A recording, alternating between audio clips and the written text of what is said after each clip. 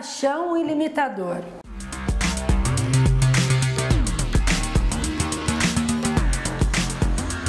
O nosso professor novamente vai explicar como é que faz para frear o carro na hora que chega num comércio. Isso mesmo, Thalita. Mostra aí, Diego. Vamos lá, Thalita.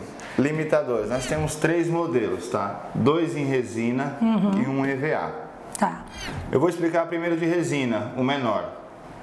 De resina, a fixação dele é Com feita parafuso? com parafuso, tá? Aqui os locais para você estar colocando o parafuso. Dos dois modelos, um maior e um menor. Fixação deles, vai fazer o, o furo no chão e usar uma das duas resinas, ou a mais líquida ou a mais densa. Quando é que eu defino qual das duas eu vou usar? Vai depender do solo que você está furando. Normalmente é utilizado a mais densa, mas a mais líquida, se você for colocar num solo mais poroso, pode-se usar mais líquida. Absorção da resina é mais fácil e é melhor. Tá. A cura da resina, Tá. tá? Quanto tempo, Diego, depois que eu faço a instalação que eu já posso utilizar? Normalmente o pessoal dá 24 horas para dar secagem, mas o... pode se jogar 24 horas total a cura. Tá. Tá? Para tá secando, porque ela vai ficar fechada e abafada. Então a evaporação do solvente da resina demora mais um pouco. Tá. tá? Esse aqui é o de EVA, normalmente usado em locais fechados, condomínios, em locais que não tem como a pessoa ter uma carga tão alta de força. Por quê? A instalação dele é com uma cola de contato ou uma dupla face. Algumas pessoas utilizam ele solto, tá?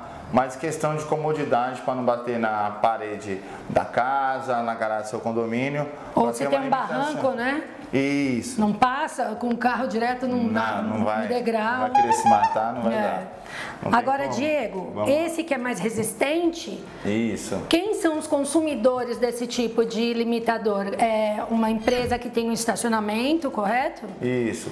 É, padarias, mercados, farmácia, tudo que tem um local para um estacionamento para os seus clientes, sempre colocando esse limitador com a distância correta para não ter um problema de um cliente encostar à frente do carro na parede do comércio ou até mesmo onde tem uma calçada que tem passagem de pedestre para não ter a pessoa colocar a frente do carro na calçada. então Não, e, e tem até as, as empresas que têm a entrada com o estacionamento na frente, né? Exatamente. Porta de vidro, então esse limitador também serve para não ter, Isso, ajuda não bater na bastante. porta, né? Isso.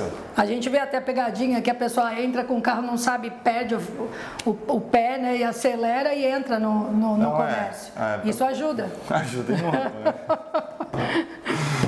Ótimo. E esse é taxão, certo, Di? Isso. Isso aí é utilizado normalmente. Eu vou, tô falando em condomínio, tá, gente? Que é o que utiliza-se mais. Esse aqui é o taxão bidirecional, tem um refletivo dos dois lados, tá? Porque isso aqui normalmente o pessoal vai colocar, dividir uma faixa é, que vai para garagem, outra que sai da garagem. Então eles fazem uma faixa, uma só no meio, tanto para quem vem como para quem vai. Então vai refletir da mesma forma, tá?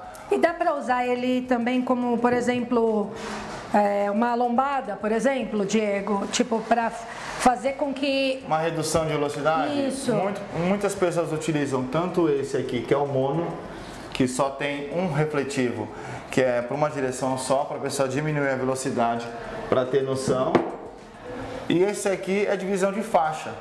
Normalmente o pessoal vai dividir uma- Três faixas, aí usa esse que é menor para não. Isso, também bidirecional, com refletivo dos dois lados. Tá. Tem desse nessa outra opção ou não? De, de a faixa só, desse pequeno com uma faixa só? Tem, mas pouco usado. Uhum. Tá? O pessoal prefere mais o bidirecional por causa dos dois pontos. Todos eles com parafuso em resina, tá? A peça, parafuso em ferro, com a fixação. Fixação dele, pessoal, da mesma forma que eu falei Do do limitador? limitador. Ou denso ou líquido. Normalmente o pessoal usa o mais denso, que é uma cola mais grossa, mas pode usar líquido também. Tá. Existe legislação para instalação desse tipo de material? Ou não? Não. É opcional. Eu É tenho um opcional. condomínio, tô no, quando eu sou síndico do condomínio, não preciso olhar nenhuma legislação para instalar? Não, a pessoa vai instalar conforme a necessidade dela, tá? Tá. Sente que norma- passa bicicleta com um monte de tem uma- criança. é, não tem uma norma isso aí. Isso é mais uma sinalização, uma preocupação para não Segurança, acontecer algum né? acidente ou até mesmo a pessoa não ver um, uma sinalização de um, um parte que para a bicicleta, a pessoa não vê à noite, escuro, pelo menos isso aí vai refletir. Esse foi o vídeo de hoje. Se você gostou, ativa o sininho, deixa seu like ou manda sugestão de vídeo. Vem pro canal.